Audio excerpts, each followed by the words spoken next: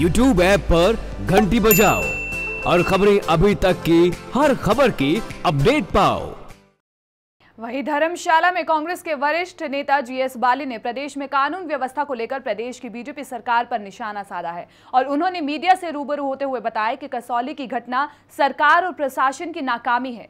उन्होंने कहा कि हर रोज रेप और अपराध की घटनाएँ हो रही हैं और उन्होंने आरोप लगाते हुए बताया कि कुछ दिन पहले कसोली में अधिकारी को गोली मारी गई थी, तब पुलिस वहाँ थी, लेकिन बदमाशों को पकड़ नहीं पाई।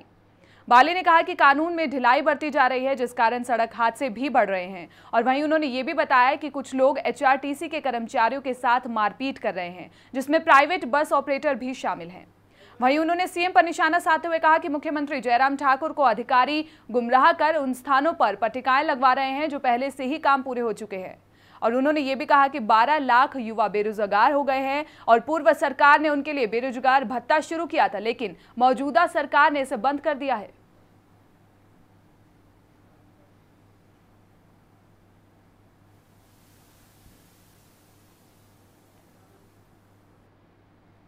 सरकार कौन से प्रेशर में काम कर रही है? क्या ऐसे सरकार चलेगी क्या?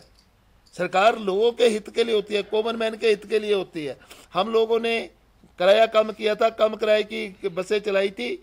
प्राइवेट ऑपरेटर हाई कोर्ट में गए थे, जीते थे। हम लोग सुप्रीम कोर्ट में गए और वहाँ से जीत के आए कि जब लोग, आम जनता का हित है उसके उसके ऊपर काम करना चाहिए। ये रोज प्रति रोज ऐसे इंसिडेंट हो रहे हैं, उससे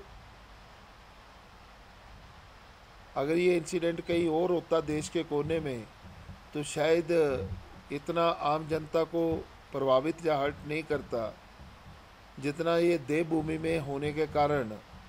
जो हमारी रेपुटेशन है द पीसफुल स्टेट लोग शांति के लिए देश विदेश से हमारी स्टेट में आते हैं।